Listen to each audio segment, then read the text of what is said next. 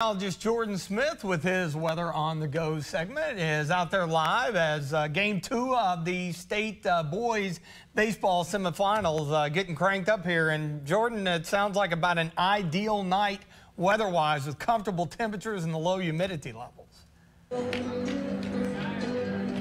Yeah, TG and Paxton, you are exactly right. That ideal weather night is exactly what we are dealing with here at Kentucky Proud Park. Temperatures into the 70s, humidity levels that TG's been showing you absolutely bone dry. A bit of a breeze that is blowing. I tell you what, we, like I said, we've been out here all afternoon and evening long, and in the shade, it feels spectacular. It feels more like late September instead of early June.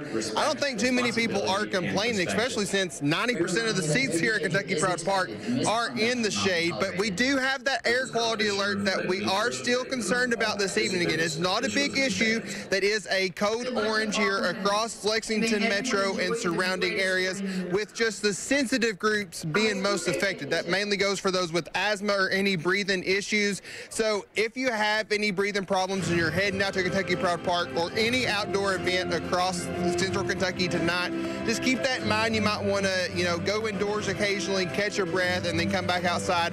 As far as the baseball players going right now, I spoke with the KHSAA official earlier, and he told me that when players and when they run the base, when they you know get really exert a lot of energy, they get tired, they're breathing heavy. They want them to come into the dugout as soon as possible and just kind of breathe and catch their breath before they go back out on the field. They will allow that just to take you know precautionary measures. As far as that goes, as we head into Saturday with the championship really getting going here tomorrow evening nothing to worry about. The air, the winds rather, will shift out of the south and southwest, kicking that smoke and haze off to our north and northeast. Temperatures in the low 80s, sunshine, humidity levels that will be low again. So whether you're here at Kentucky Proud Park this weekend or you're somewhere else, really, we have nothing to worry about outside of that slight air quality alert that we are dealing with here tonight.